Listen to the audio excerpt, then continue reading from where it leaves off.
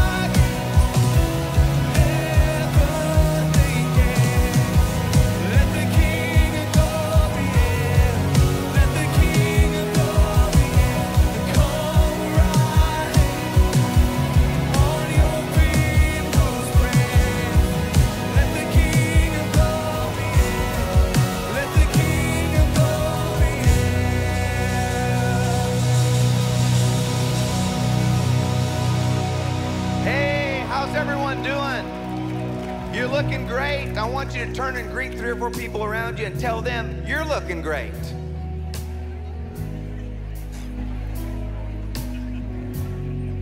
Hey, welcome to Woodland Church. You can be seated. Um, we are so glad you're here. If you're a guest, we just want you to make yourself right at home, and I hope you'll download the Woodland Church app and you'll find out so much more about the church. We want to get to know you, we want you to get to know us, and really, we just want you to be at home in our church family. Hey, this has been one of the greatest summers of life change in the history of Woodlands Church. I mean, through our student camps, our children's camps, and then last week at the Woodlands campus, we had over 2,000 children at our vacation Bible school. It was amazing. Just watch. We can either choose to build people up or we can choose to tear people down. We want to build people up, which means that we want to help others. You see, I want to challenge you today to build people up because heroes help others.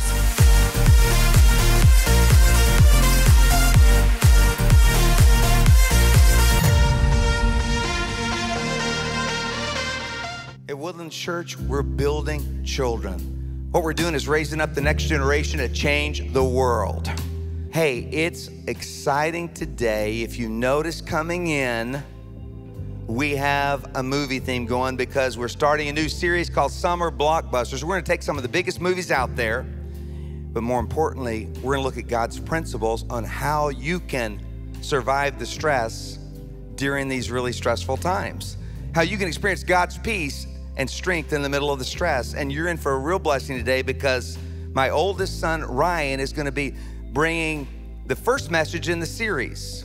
And he's going to be looking at Top Gun Maverick. It is a cool movie and it's awesome, but um, but more importantly, God's word is powerful, and really, He's going to be teaching us from God's word how to put Christ back in the pilot seat of your life, because that makes all the difference when you do that. Now, would you stand as we continue to sing one of our Woodlands Worship originals that God's using Woodlands Worship and our original songs that are going out from our church to make a difference all over the nation, but yet these songs have been written for you to sing to God. It comes through Woodlands Church and then it makes a difference. So let's sing about His great love because He loves you so much.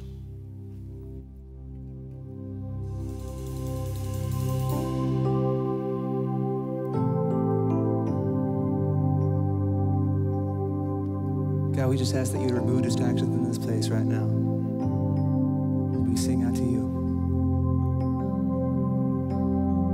Oh, how I've tasted your blessings again.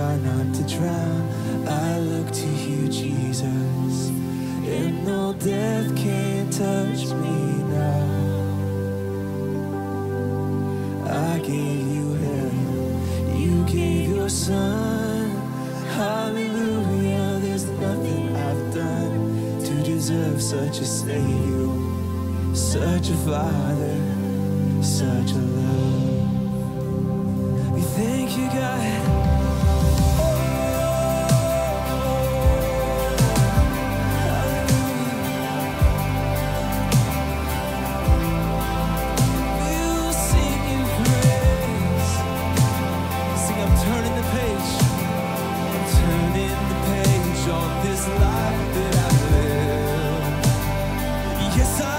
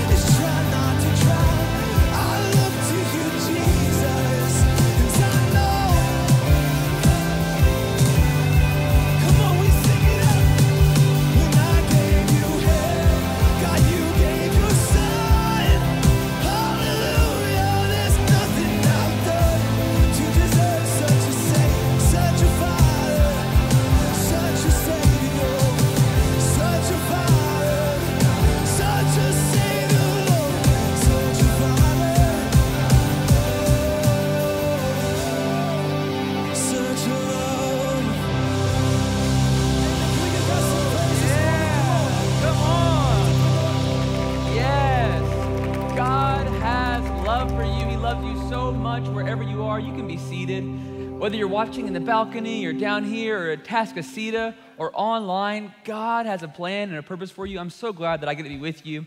As Pastor Kerry said, I'm his oldest son. It's such an honor. Let me pray for us. Dear Lord, please speak through me. Give us a word that encourages us, that lifts us up, and points us back to you. Teach us your truths so that we can apply them and share them with others. And yeah, I pray. Amen. Well, growing up, I have always loved filmmaking. So when my dad told me that he was going to start a new series called Summer Blockbusters, I jumped at the chance. I even did some internships in Los Angeles at different film companies. So I'm passionate about movies and I'm so excited to be with you today. And this weekend's message, I cannot wait because it is Top Gun Maverick and it's going to be such a great. Hey, what? what hey, I'm- Josh, Josh, Josh, Josh, what, what, what, are, you- what are you guys doing? It's Top Gun, so it's Kenny Loggins. Kenny Loggins, what? What are you? Yeah, highway to the danger zone. I'm, I'm trying to do the message here. We're right, we worked really hard on this, okay? Just wait until you hear Take My Breath Away. Okay? All right, what? Okay. All right, Woodlands Worship, you guys, you guys are awesome. He's, he's not wow. feeling it. It's okay. Yeah, all right, I'm gonna go ahead and do the. Oh my goodness. All right, Woodlands Worship, get out of here, you guys. Come on. Woo! Let's give it up for Woodlands Worship. Yes. Hey, their timing is usually really good. Like I was saying, uh, uh, we're talking about Top Gun Maverick, but we're also going to be learning about Psalm 23 and how we can put God back in the pilot seat of our lives. Over the next three weekends, we're really going to dive deep into Psalm 23, one of the most comforting passages in all of Scripture. Will you please take a moment to stand with me and read aloud this comforting, famous scripture and see how it can touch our lives? See how it applies to us today. Let's read. Speak this out loud with me. The Lord is my shepherd, I shall not want. He makes me lie down in green pastures, He leads me beside the still waters. He restores my soul. He leads me in the paths of righteousness for His name's sake. Though I walk through the valley of the shadow of death, I will fear no evil, for you are with me. Your rod and your staff, they comfort me. You prepare a table before me in the presence of my enemies. You anoint my head with oil. My cup runs over. Surely goodness and mercy shall follow me all the days of my life, and I will dwell in the house of the Lord forever. That's Psalm 23. You can be seated. Thanks for reading that with me. I'm so excited to dive into Psalm 23, and I believe God wants to show us something new as a church family.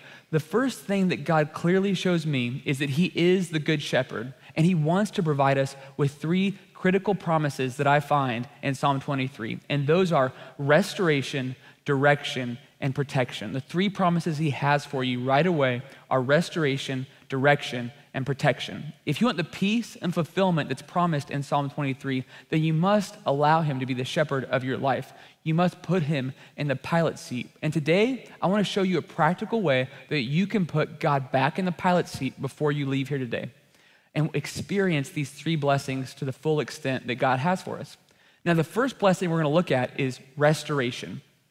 Like so many parts of life, there are a lot of things I didn't appreciate that my parents did for me, especially summer vacations. Every summer, they would take our family to an awesome place and they worked really hard to make sure we had time as a family. And now that I'm married with two amazing kids, my wife Sarah and I get to carry on that tradition of running through airports with strollers and praying we get there before we run out of goldfish and trying to break up all the sibling fights that happen along the way. Well, my son Ben is seven now, and my daughter Joanna is five, about to turn six. But at this time, they were toddlers. They were two and three. Ben was only three, Joanna was two. And it was a return flight from Disneyland. Now, getting ready and going to Disneyland is always filled with anticipation and excitement for our family. We've got our matching t shirts, we've got our bags packed, everything's organized, we are ready to go. And the night before, the kids just can't sleep. We've got a plan for what we're going to eat. We've got a plan for where we're going to go, all the rides we're going to experience. It's a blast. Now, coming back from Disneyland, coming back from the most magical place on earth is always a bit of a challenge. It's always hard to get the kids to leave. Everyone's worn out.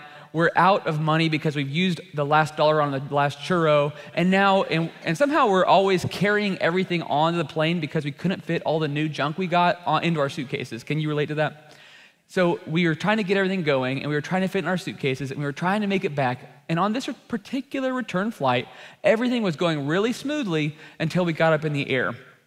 So my son Ben was sitting with me uh, in the aisle across from Joanna and Sarah. Sarah, were, Sarah and Joanna were sitting in another- aisle, so I was responsible for my three-year-old. And the flight was going great. We reached cruising altitude, and the flight attendant started to bring out the snacks and the drinks. Now, in every couple, there's one parent who loves to uh, be responsible, make sure things are organized, make sure everyone has what they need, and no one's being hurt or injured, everyone's safe. And there's usually another uh, parent who really enjoys making sure everyone's having a good time. And I'm the parent who likes to give my kids what they want. And um, it's caused some friction in our marriage, but we're working through it. And so the current is so on this particular flight, my daddy, my, my son saw the, saw the juice cart coming down, and he said, Daddy, juice. And uh, without thinking, I, you know, I told the flight attendant, hey, can I get an open cup of orange juice? And so, without thinking, I took the cup of orange juice from the flight attendant, and had my wife been anywhere nearby, she would have immediately said nope, and seeing the consequences that were going to happen inevitably. But she did not witness my innocent request for the orange juice, nor did she notice when I put, placed it right in front of my toddler on his tray table and turned my attention back to my phone. Well, it was only about 10 seconds later before that cup of orange juice was spilled in my lap. And um, it was a giant mess and it was a big uh, ordeal. And then I turned to my, my son, Ben. I said, I need a napkin. I, I looked, I said, I need a napkin. I grabbed the napkin, and by the time I turned back to my son, uh, he had taken his shirt off somehow. And I was like, what is, what is going on here? Uh, and he was upset because he was crying, his shirt was off, and he was really upset because the cup of orange juice that was now in my lap, well, he really, really wanted it. And then I tried to get my wife's attention saying, hey, can, can, you, can you help me with this? We've got a situation here. This is not going well. And then Ben's crying kept getting louder and louder. And then, in a unique fit of rage that only a toddler can really pull off, Ben proceeded to strip down on the plane until he was butt naked. And the entire plane knew his anguish. He wanted to make sure everyone knew what was going on. And finally, I got cleaned up. And I've never been a Top Gun fighter pilot. I've never been through flight school or experienced the G forces of combat and aerial aviation, but I would challenge any Top Gun pilot to try to calm an irate, naked toddler at 36,000 feet while a plane full of strangers stares at you. Uh, and maybe, like me, you have a recent stressful travel experience. This year is proving to be one of the busiest travel years of all time. It's setting records across the board, and we are experiencing delays and frustrations every step of the way. And even though that's a trip I will never forget, it's something that's so important for us to remember because when you travel with the Shook family, a lot of people think, well, it must be awesome to travel with the Shook family. It's not. It is stressful. It is crazy. We always say, uh, never a lot, always a little. And it's always a little bit stressful because with so many kids and grandkids, there is always at least one story like that. You see, we go on vacation to find rest. We go on vacation to find restoration and peace for our souls, thinking that if we travel, we're going to find it. But the reality is, with how stressful travel can become, we never find the true restoration that our souls are looking for. No matter where we go, whether it's a foreign city or a nice beach, those are all great. But we have not found the restoration, not found the peace that we really need on vacation. Why is that? Well, we've spent the past few years not traveling, and we've spent this past few years staying still.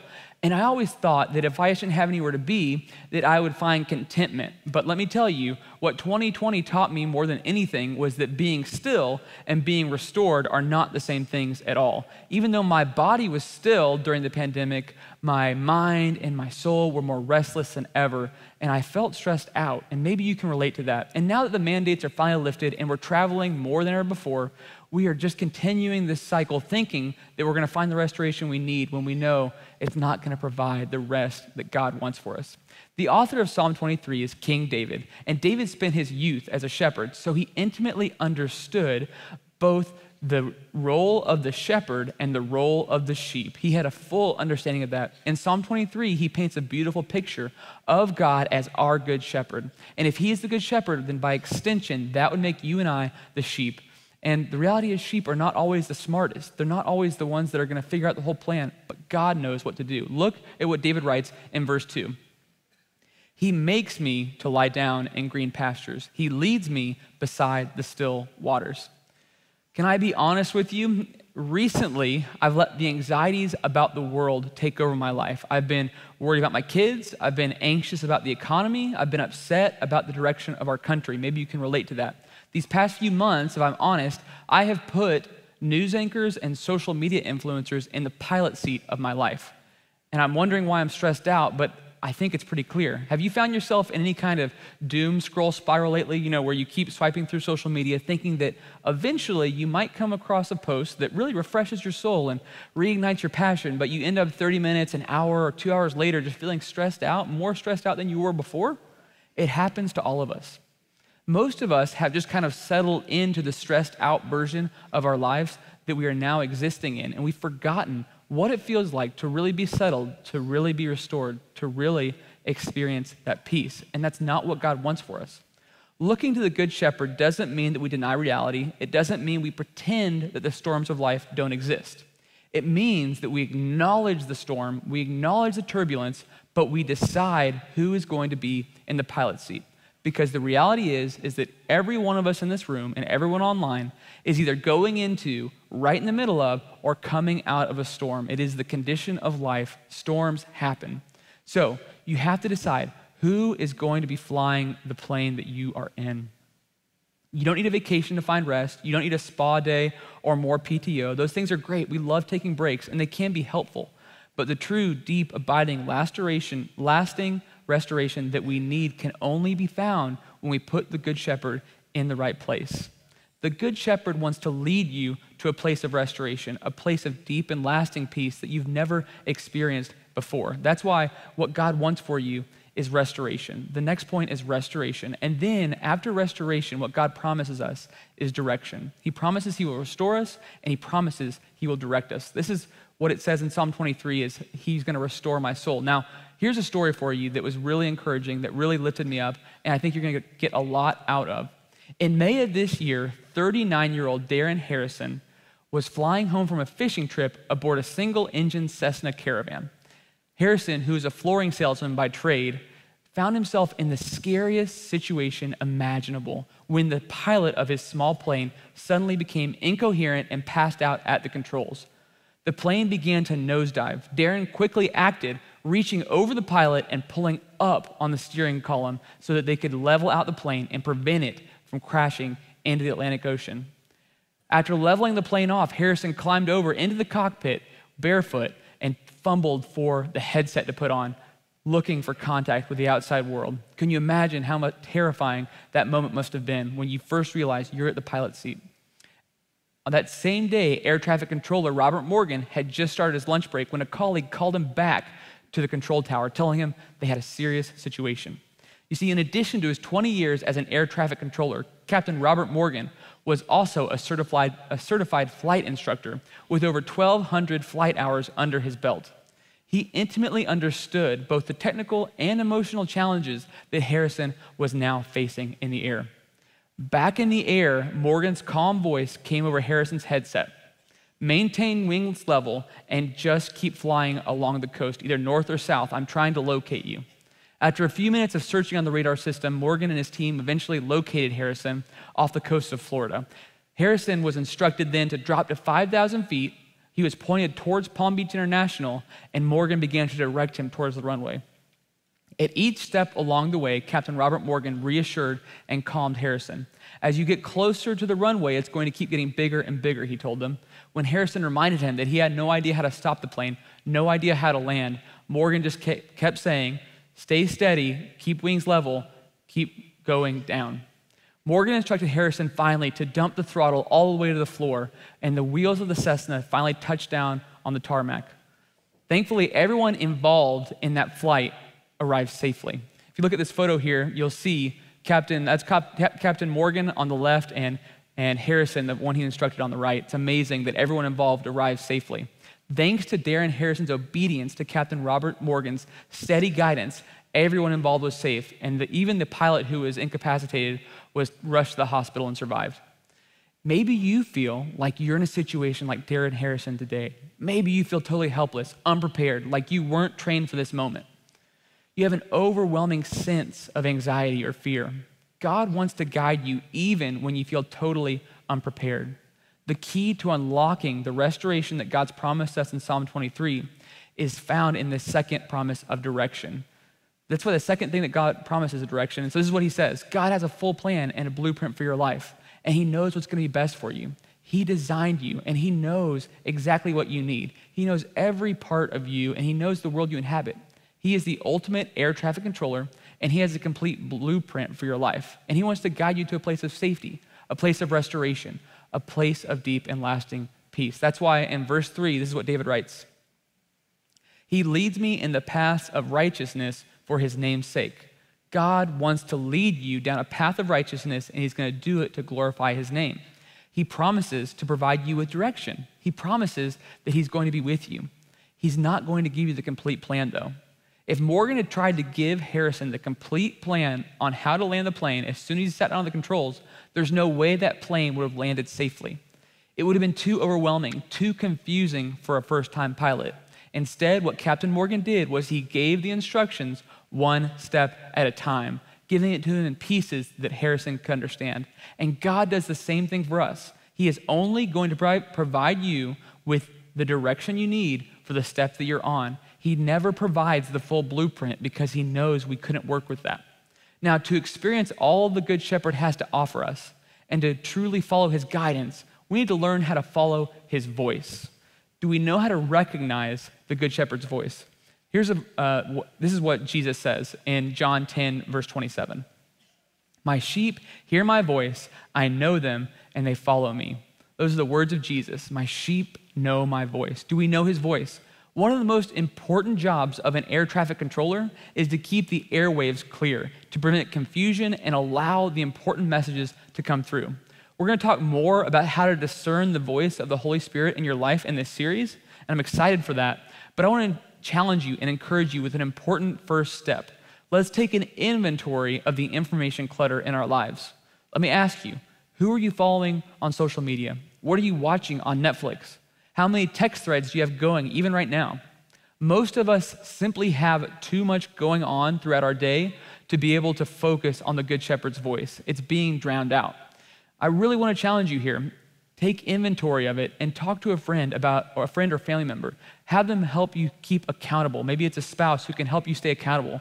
It's not, it's so easy to get caught up in the information overload of this world, and so it's so important to be intentional with each other. Now, the third blessing that God promises us after restoration, direction, is protection. God is going to protect us. As I was researching Top Gun Maverick and how they made the film, I learned they used real Navy pilots and real gunners to make the movie, which was amazing. And then I began to research into the rich history of American aviation power. One Wikipedia article led me to the next, and eventually I came across the B 24 bomb squadrons that flew over occupied Europe during World War II. I was so excited to find out that one of these heroes lives here in Houston. Staff Sergeant Bob Weinert lives here in Houston and volunteers at the Lone Star Flight Museum. He's 97 and he flew 25 combat missions over occupied Europe, taking out strategic targets across Germany, Italy, and Austria. This week, I had the immense honor of sitting down with Captain Weiner, Sergeant Weiner, and talk with him about his experience. I was also able to thank him on behalf of our church family for his sacrifice. Just watch. The Army Air Corps had a program called the Air Cadet Program. And what it was meant for was you could become a pilot. Uh, and I said, Oh, I wanted to be a fighter pilot. But unfortunately, I failed depth perception. So I was assigned to a B 24 bomber as a top turret gunner. In a bomb group were 28 aircraft made up of four squadrons of seven planes each. So that meant 280 men would be on a particular flight or a, a bombing mission. Now, when we formed our crew, every one of us was either 18 or 19 years old. So uh, The oldest guy on the crew was the pilot. We used to call him Dad. Uh, he was 22 years old, so it seemed like a very young war.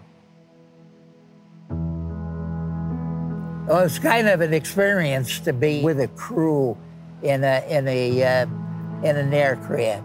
Now, to make a mission into Germany would be probably an eight and a half hour, maybe could be as much as 10, 10 hour mission, uh, depending on um, exactly where you were going.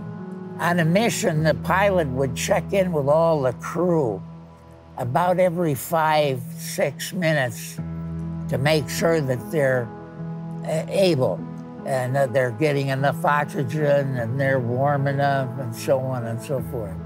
So he would check through the plane. You would say top okay and then go right right around every every position. And my particular air cover at that time was the Tuskegee Airmen. I could possibly owe my life to P-51 pilots in the uh, Tuskegee Airmen a crew gets very together. You're almost like brothers because you live together seven days a week, 24 hours a day. The average life of a crew in those days, your tour of duty in 1942 and 43 was 25 missions. If you could finish 25 missions, you could go home. But the average life of a crew in those days was eight to 12 missions.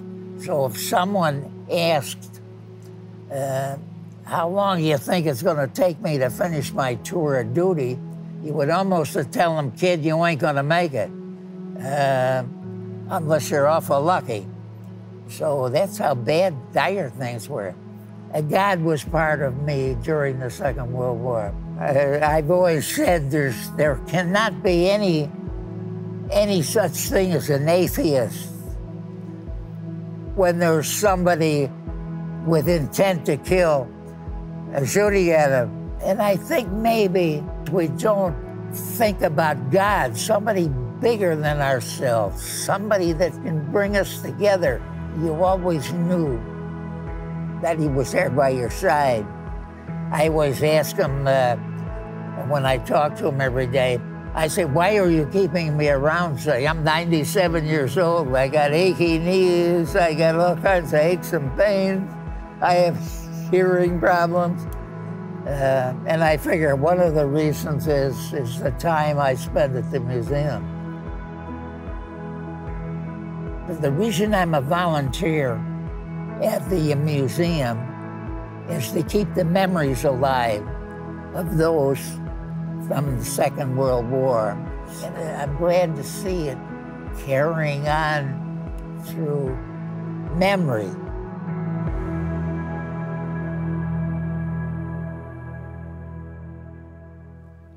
Yeah. Yeah. Yeah. Sergeant Weiner really was an amazing here. He still is, and you would have loved to meet him. He would have really liked everyone here and just resonated with them. What's amazing is that he told me at 97, he's still totally self sufficient, drives himself around, and he enjoys driving his Corvette. It's amazing. yeah, there's a reason we called him the greatest generation because he was incredible. I learned so many lessons from him in our time together, so many great biblical truths, but also practical life lessons. And one of the things he kept coming back to was protection. That's why the third thing I want to talk about is protection, how God wants to protect you. In verse 4, David writes this Though I walk through the valley of the shadow of death, I will fear no evil, for you are with me. Your rod and your staff, they comfort me. What a comforting verse. God doesn't promise us the journey will be easy. He doesn't promise us that the challenges we face won't be overwhelming at times. He knows that they will be. He doesn't say, though I walk through the mountaintop of success and fame and enjoyment. No, he says, though I walk through the shadow of the valley of death. And at one point or another, each one of us will walk through life's deep, dark valleys. But he tells you right here that even in the darkest moment, that he is going to be right there with you. And as Sergeant Weinert so beautifully put it, even at the end of life, God is there with us, holding our hand. You may not always feel safe. You may not always feel secure, But when you have Jesus Christ as your assurance, you know that he will protect you all the days of your life. He promises us to do that. He promises he will be with you. And even at the end of life, we will have the certainty of heaven one day, and we have the promise of a future with him. Now, the promises of Psalm 23 are comforting, and they truly can change our lives and strengthen our souls. So the question is, why aren't we experiencing them on a daily basis? How do we really put them into practice? I don't mean just feel good about God or pretend things are okay. How do we truly experience the deep and lasting direction, protection, and restoration that God has promised us here in Psalm 23? God offers you the life of peace. He extends the opportunity for blessing, He extends the opportunity for protection and restoration, but He does not force us to take it. To experience these promises, we have to realize that it's our job to let the Good Shepherd take control. We have to allow the Good Shepherd to lead us. We need to put Jesus back in the pilot seat. So let me ask you what's keeping you from giving the controls over to God today? We all have something we're holding on to. What's preventing you from letting go and truly resting in the Good Shepherd's arms right now? A few weeks ago, I was having coffee with my good friend and the dean of our Woodland Seminary, Shell Oxel Johansson.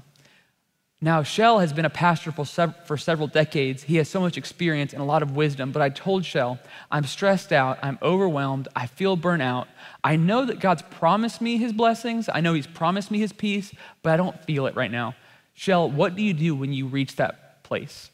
Shell gave me some great advice. It was powerful and simple, and I hope it applies to you as well. What he said to me was this When I feel overwhelmed, I just look at a picture of our galaxy and I look at the small dot that is Earth, and I am reminded of just how big my God is and how small my problems are. Could it be that the main reason you're not experiencing the peace that, God, that God's promised you in Psalm 23 is it because you've allowed your problems to get too big and your God to become too small? To better understand and really appreciate the Good Shepherd, we have to realize just how big He is. We need to remember how big God is. This month, NASA released the first images from the James Webb Space Telescope. The Webb Space Telescope is the most advanced piece of imaging technology mankind has ever produced, and it's allowed us to see further into the cosmos than ever before, re- revealing new galaxies. Here's one of the first full color photos released by the Webb Telescope. What's amazing about this is it's a, it's a deep cluster of stars and galaxies. Each one of these dots of light is a galaxy, and it looks massive to us when looked at from the Webb telescope. But when looked at from the night sky uh, from Earth with, with no telescope, it would be about the size of a, a grain of rice held at arm's length if you stand on Earth. That's about how big this image is if you were standing on Earth. And what's amazing is that when you observe this with the Webb telescope, this tiny sliver of night sky, it reveals these countless galaxies. And it reveals that each of these galaxies has countless planets and stars inside of them. You see, there really is no such thing as empty night sky. There's only our limited ability to perceive God's vast creation. When we look up in the night sky, can you imagine if you could see everything that God's created? It would be overwhelming. What's even more remarkable to me than God's vastness and how big He is, is how much He truly cares. God has a desire for intim- intimacy with you and I. The creator of the universe cares for you, and He knows every detail of your life. We, we have to remember not just how big God is, we have to remember how much God cares. He truly cares about you. The one who put the galaxies in place and hung every star in our night sky, the God who oversees every turn of our planet, invites you and I to live forever with Him, and He invites you and I into relationship with Him. Later in Psalm 23, verse 6, David ends this chapter with a comforting message. This is what he says Surely goodness and mercy shall follow me all the days of my life, and I will dwell in the house of the Lord forever. Just over 2,000 years ago, God became a man. He lived an amazing, perfect life. He shared his message of truth, and he sacrificed himself on a cross to die for your sins so you could live in eternity with him. This man is named Jesus Christ. And whether you've known Jesus for many years or this is your first time to truly consider a relationship with Christ, I want you to know that God put you here for a unique reason. He has a unique plan and blueprint for your life. He knit you together in your mother's womb, and even though He knows every detail of your life and He created the universe, He still loves you exactly as you are, every flaw, every mistake. And if you haven't invited Jesus to be the good shepherd of your life, I want to give you that opportunity right now before we end this message. We're about to wrap up. Before we do, I want to make sure you have this opportunity. And I want to encourage you, even if you already have a relationship with our good shepherd, will you speak this out loud? It can be such a powerful act to put God back in the pilot seat where he belongs. Let's pray together. Dear Jesus, I admit my sin separates me from you. Thank you for dying on the cross for me. Thank you for taking my sins. Please come into my life and be my good shepherd. I put you on the pilot seat of my life. In your name I pray. Amen.